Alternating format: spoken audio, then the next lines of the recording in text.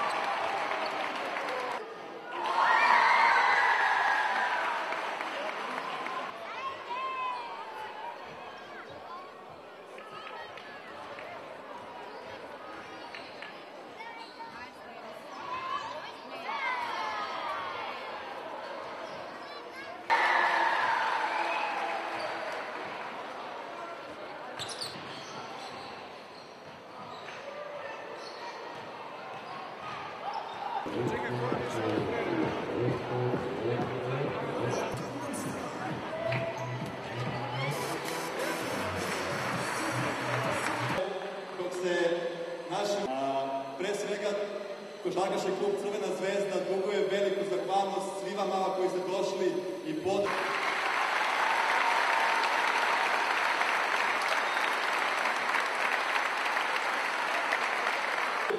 će mala tijena pobediti u svojoj velikoj utakmici.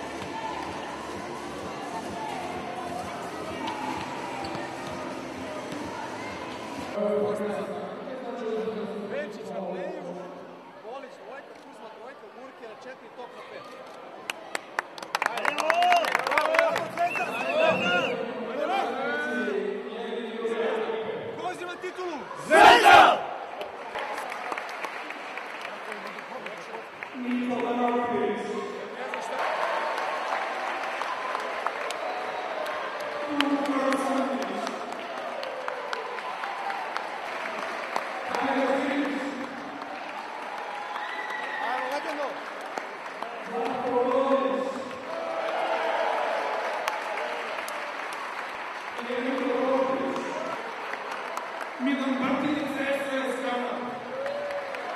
Miroslav Jevremović, košarka 24. Ivan Jovanović, Blic. Zoran Milićević. Još jedan aplauz za učesnike ovog meča.